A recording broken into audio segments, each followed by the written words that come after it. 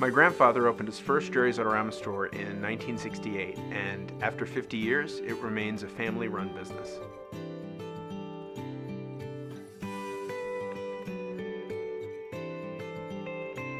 When my daughter was born, I had many decades of history to share with her, and slowly she's learning some of that history. Being raised in a family art supply business gave me a huge appreciation and understanding for all the arts and just how powerful the act of creating art is. I can't help but think that the more connected we are, the more distant we become. Quality time is slowly being replaced by screen time, and father daughter time is no exception.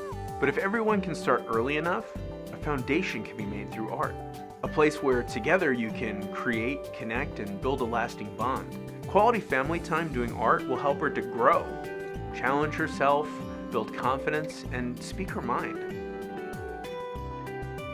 Jerry's is a business that believes in leading by example. So when she isn't quite so little anymore, we can always bring ourselves back together through art, not to mention the keepsakes that come along with it.